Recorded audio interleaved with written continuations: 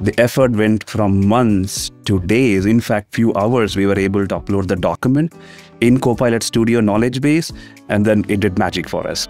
I'm Praveen Rajaram. I'm a software architect uh, in Enterprise Architecture Group. CSX is a number one freight railroad company in United States. Uh, we serve around 23 states and part of Canada. We wanted to give a first-class experience for our customers and also help our uh, uh, support team where they can focus more complex tasks than answering these questions. That's when we started using Microsoft Copilot Studio and also Azure AI Foundry.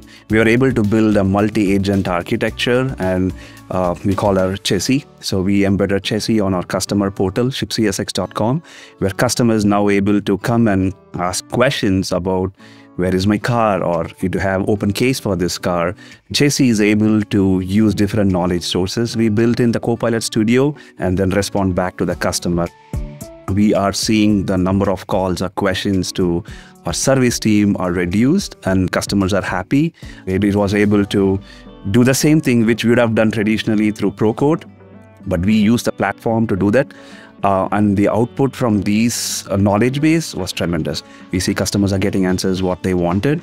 Our plan is to add more agents in chess to the Chessie, right? This is going to re tremendously reduce our business and the support team. Our customer service support team is not 24 bar 7, uh, but our customers do business all the time. They, they, they do shipment overnight. Now it's readily there. They get instant answer and they're out. And we are seeing a lot of uh, quick turnaround for customers at the same time saving time for our business. We are not only stopping at the customer level, we want to expand our Copilot Studio experience uh, for our internal users too, like employees. And also we are super excited to see all the capabilities coming up in Copilot Studio. We want to be the frontier in the technology when it comes to the transportation company. Definitely we are looking forward to see where AI takes next for us.